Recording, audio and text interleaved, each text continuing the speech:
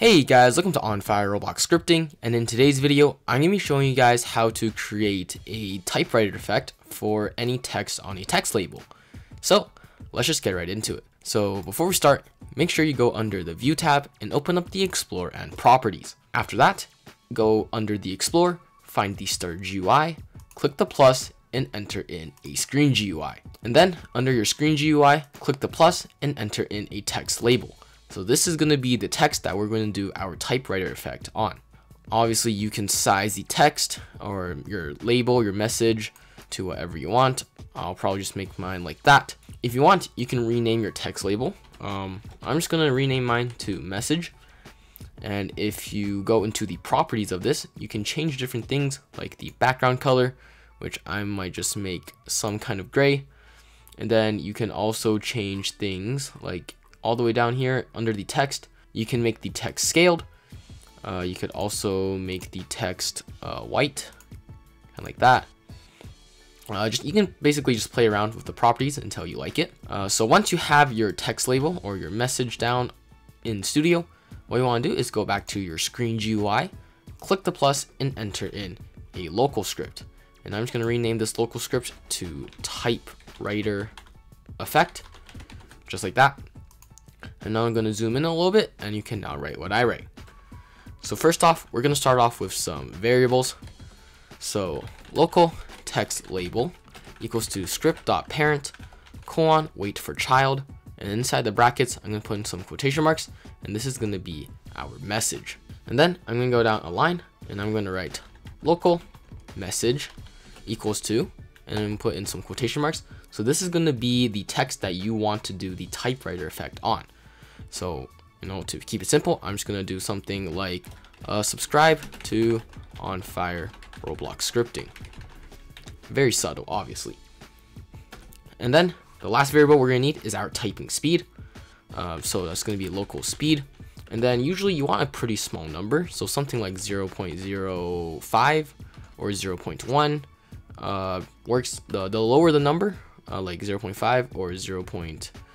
0.01, 0.05, uh, the faster the typing effect is going to be. Uh, so I'm just going to keep mine at 0.05. This is pretty fast. So after we've got our variables, we can now write our functions. So it's just going to be one function.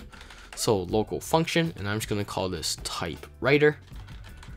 And then we're going to put in some brackets. And then here, we're going to pass in three different parameters.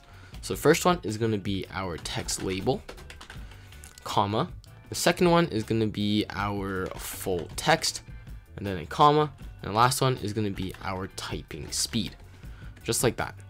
After that, we can go down a line and we can write text label dot text equals to and just a blank quotation marks. So this will clear the text on the text label. And then what we can do is write for i equals to one, comma, and then hashtag full text do just like that. Go down a line and write text label dot text equals to string dot sub. And inside the brackets we're gonna write full text comma one comma i. Just like that.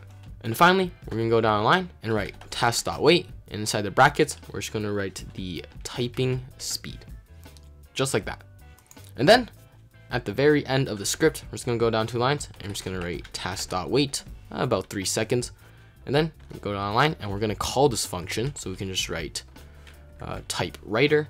Inside the brackets, we're gonna pass on the three parameters that we want. So that is gonna be our text label, comma, our message, comma, and then our speed. So I'm going to quickly explain what this script does. So first off the variables, this first one is going to get our text label, which is called message in the Explorer. The second one is the message that we want to type right out. So when we do the typewriting effect, this is what is going to be typewriting. And then third one is just how fast we're going to be typewriting this. And then this whole function takes care of the typewriting. So when we start the function, we're going to clear whatever's in the text label, uh, make it say no text. And then for every letter in the text uh, or message that we give it, which is the one comma hashtag full text. So it's going to go through every single letter. And then we're going to sub in uh, up to that letter uh, and indexed by one. So basically, it's going to write out an S and then an SU, and an SUB, SUBS, and it's going to do that for the entire string. And then between each uh, letter that we add, we're going to wait our typing speed, which is why the lower this number is, the faster it's going to be. Now down here, you can call the typewriter uh, function whenever you want. Uh, I'm just calling it after we wait three seconds so that I can show you later in a showcase. But that is all you have to do, and we can go test it out now. So this is our label. If I just wait three seconds, there you go. It's gonna start typewriting our message, just like that. Now if I stop, and let's say I change the speed to 0.01, this is gonna be very fast. So if I wait three seconds, it's gonna type right out. There you go. You see how fast that was? And if I change this to something slower, like 0.1, it's going to be a slower typewriting effect. So you can see that is a lot slower.